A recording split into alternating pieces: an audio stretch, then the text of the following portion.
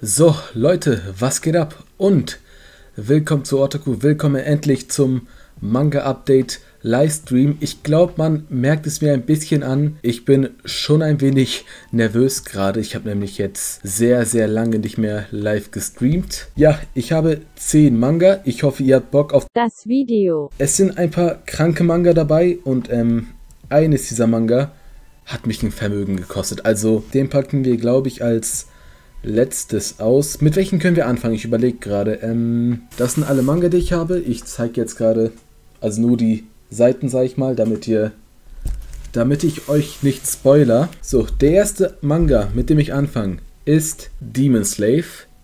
Und den habe ich mir ganz spontan geholt. Also ich war in der Buchhandlung, habe gar nicht überlegt, was ich mir holen soll, habe mich ein wenig umgeschaut und habe einfach Demon Slave geholt. Ich finde, das sieht, sieht schon cool aus. Keine Ahnung, worum es geht, aber das Titelbild sieht ziemlich, ziemlich cool aus. Wo wir da zum nächsten Manga kommen, ja komm, das, das steht ja auch, auch schon im Chat. Zombie 100, Band 2. Ich fand den ersten Band schon ziemlich interessant. Ich überlege gerade, ob ich schon die Folien hier auspacken soll. Aber ich glaube, ich werde mich da ziemlich, ziemlich... Es geht um Edgy, schreibt jemand bei Demon Slave. Oh Gott, nicht ganz mein Genre. Ich krieg Zombie 100 gerade nicht auf. Ähm, naja, auf jeden Fall, ich fand den ersten Band ziemlich, ziemlich funny. Ja, es war nice. Es war nice, der erste Band. Sehr viel Action, sehr viel edgy und es war funny. Ich krieg gerade Zombie 100 Band 2 nicht auf, Leute. Tut mir leid. Wisst ihr was? Soll ich den Manga doch lieber einfach zulassen? Soll ich die einfach zulassen? Okay, ich glaube, ich lasse Zombie 100 erstmal zu. Vielleicht kriege ich die anderen besser auf. Den, den zeige ich mal. Der sieht ziemlich interessant aus. Und zwar, okay, den kriegen wir auf jeden Fall auf. Der ist einfach zum Aufmachen. Und zwar ist es Jagan. Ich hoffe, ich habe das richtig ausgesprochen. Ich finde dieses Titelbild, also es, es sieht einfach mega nice aus, wie ich finde. Ja, sieht ein wenig Horror aus, sage ich mal, wenn man hinten mal schaut. Da ist irgendeine Kreatur abgebildet. Und auch bei dem Manga, keine Ahnung, worum es geht. Aber es sieht mega nice aus. Es sieht mega nice aus, wie ich, wie ich finde. Der ist, der ist einfach zum Auspacken. Nice. Gut. So, da ist der Manga. Ich hoffe, die Zeichnungen sind gut. Yo, what the fuck? Es sieht sick aus. Es sieht übel sick aus. Also ich bin echt gespannt, wie das sein wird. Ich bin echt gespannt, was die Story ist. Ich bin jetzt zu faul, ich bin zu faul, um die Beschreibung zu lesen. Ja. Komm, den packen wir mal als nächstes aus. Damit sind wir auch schon bei diesem Manga. Fire Punch.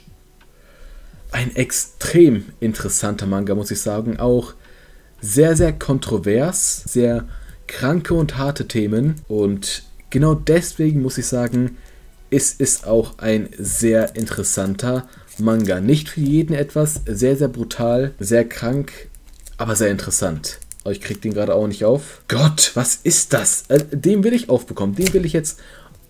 Gut. Gut, habe ich geschafft. Ich habe es aufbekommen. So, wie sieht denn das Rückenbild aus? Das feiere ich bei den... Also was heißt, ich feiere das bei den Fire, Fire Punch Bänden. Es ist schon cool, dass es so ein Rückenbild gibt. Aber ähm, das ist halt beim Lesen ein wenig anstrengend. Man muss das, zumindest mache ich das so. So, so lese ich das. Also hat dann die Seiten so auf. Ich zeige jetzt lieber nicht zu viel, bevor ich irgendwelche Leute spoiler. Und ich bin wirklich, wirklich gespannt, wie Fire Punch zu Ende gehen wird. Also, es ist ein kranker Manga. Es ist ein echt kranker Manga. Es passiert sehr, sehr viel und ich habe keine Ahnung. Ich habe keine Ahnung, in welche Richtung das gehen wird. Vor allem, da es nur acht Bände sind und in diesen Bänden, da passiert schon mega viel. Ich bin deswegen sehr, sehr gespannt, wie der Manga zu Ende, sein, äh, zu Ende gehen wird. So, jetzt packen wir. Okay, was mache ich als nächstes? Ähm, so, Solita Massiv 6. Die Kamera ist gerade unscharf geworden. Ich hoffe, das wird sofort wieder. Es sind schon sieben Bände draußen und den siebten habe ich noch nicht. Was sehr schade ist, denn Solita Massiv, sehr, sehr interessante Reihe und ich habe ja Solita vorher nicht nie geschaut. Ich erlebe das Werk ja gerade zum ersten Mal und deswegen ist es so interessant. Vor allem, ähm, ich habe noch keine Spoiler erfahren. Ich habe noch keine Spoiler erfahren. Ich, doch, doch. Einen Spoiler habe ich erfahren, den will, ich, den will ich jetzt aber nicht sagen natürlich. Aber ähm, sonst lese ich den Manga sehr spoilerfrei, sag ich mal. Ab dem siebten Band sind der Manga und der Anime unterschiedlich, schreibt Otakumania. Äh, Ja, genau. Also ich wusste jetzt nicht wann, aber das wusste ich auch schon, dass der Manga und der Anime beide ungefähr ab der Hälfte so, so eine andere Route gehen. Ja, den Anime habe ich nicht geschaut, habe ich auch vor, aber ich will erst den Manga lesen. Ich will, ich will erst den Manga lesen, dann schaue ich den Anime und dann schaue ich mal, wie unterschiedlich die beiden Werke sein wird, also wie groß der Unterschied ist. Und mal sehen, was ich dann letztendlich auch besser finden werde. Ich glaube, das wäre dann, wenn ich beide Werke durch habe, also den Soita Manga und den Soita Anime. Ich glaube, es wäre dann ein Video wert, ähm, zu sehen, wie die Unterschiede sind und welche, bei, welche Werke, welches, oh Gott, welches Werk ich von beiden, Gott, ich habe gerade sprechen verlernt, welches ich besser finde. Okay, gut, dann sind wir schon bei der Hälfte. Fünf Manga bleiben noch übrig. Welches packe ich jetzt aus? Okay, ich glaube, ich weiß, was ich auspacke. Chainsaw Man 4. Chainsaw Man 4 habe ich mir geholt.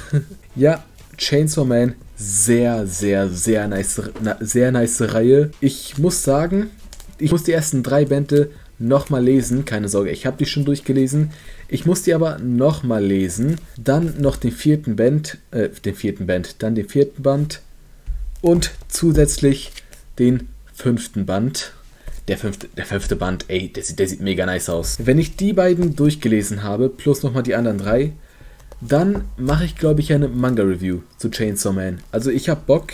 Auch der Manga geht ganz, ganz easy auf. So, da haben wir den ausgepackt. Und, oh Gott, wie hieß der Typ nochmal? Ich habe ich hab den Namen vergessen. So, dann packen wir auch direkt den nächsten aus. Chainsaw Man 5.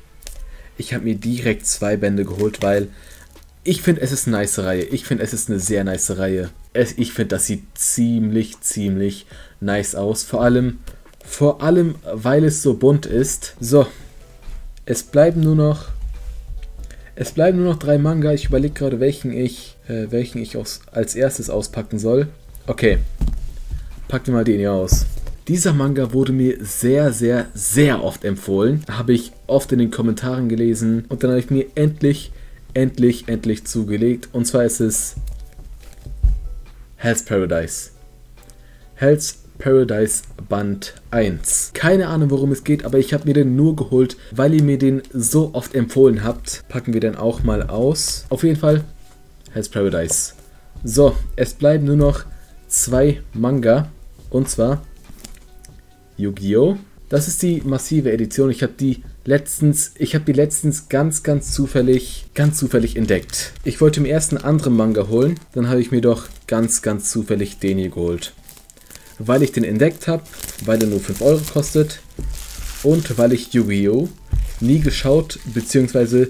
gelesen habe. Sorry Leute, das ist ein ähm, bisschen traurig von mir. Ich habe Yu-Gi-Oh! nie gelesen, nie geschaut. Naja, mal sehen, wie der sein wird. Dann sind wir auch schon beim letzten Manga für heute. Ey, die, das Ding ist krass.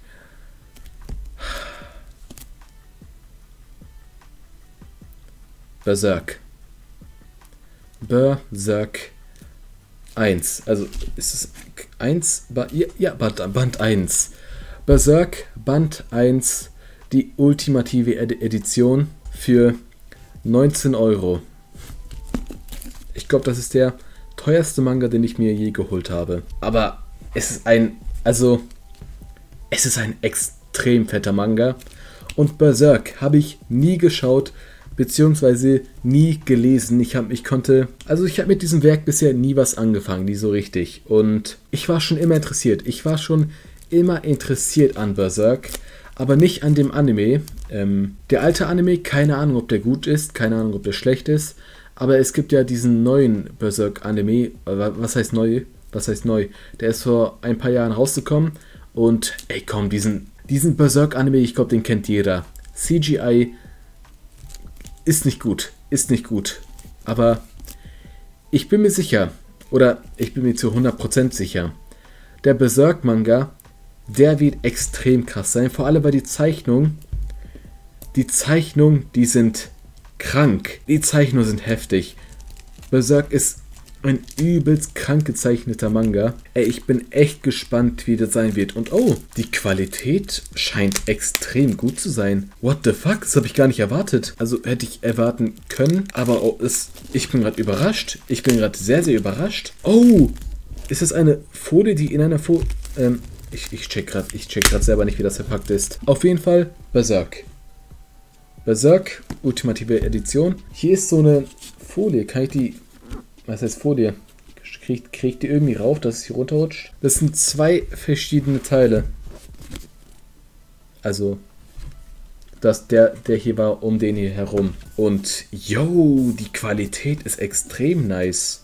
Oh! Oh, das fällt mir auch gerade auf. Wie nice das ist, wenn man den hier drumherum hat, dann hat man diese ganzen Aufschriften. Da hat man diese Berserk-Aufschrift, da hat man den Namen Kentaro Miura hat man hier die ultimative Edition, äh, hier, die, hier die ultimative Edition. Was aber extrem nice ist, wenn man dieses Ding abgemacht hat, hat man, hat man nur so diese Bilder. Ohne irgendeine Aufschrift. Ey, das ist doch. Das ist doch krank. Hier steht auch nichts, einfach nur ein geiles Bild. Und hier, oh, geht gerade nicht, sehr überleuchtet. Auf jeden Fall, hier ist so ein Schwert abgebildet mit einem Symbol. Bin auf jeden Fall gespannt, wie Berserk sein wird. Ich habe auch keine genaue Ahnung, worum es geht. Das Einzige, was ich aus Berserk kenne, ist ähm, diese Eclipse-Szene. Ich glaube, die solltet ihr wahrscheinlich auch alle kennen. Eine sehr, sehr, sehr kranke Szene. Aber auch eine sehr gute Szene. Ja, das waren alle Manga, Leute. Das waren alle Manga. Berserk ist jetzt der letzte, den wir ausgepackt haben. Also wollen wir nochmal alle durchgehen, ganz schnell. Speedrun. Yu-Gi-Oh! Band 1. Hell's Paradise Band 1. Solita Massiv Band 6. Demon Slave Band 1. Zombie 100 Band 2. Jagan Band 1 und es sieht immer noch krank aus. Also die Hand, what the fuck. Fire Punch 4, Chainsaw Man 4 und 5 und Berserk 1. 10 Bände, mega krank. Ja, ich würde sagen, war ein nicer Stream, Leute. Ich hoffe, es hat euch gefallen. Dann würde ich sagen, ich wünsche euch noch einen schönen Tag. Danke, dass ihr hier wart. Ja, ciao.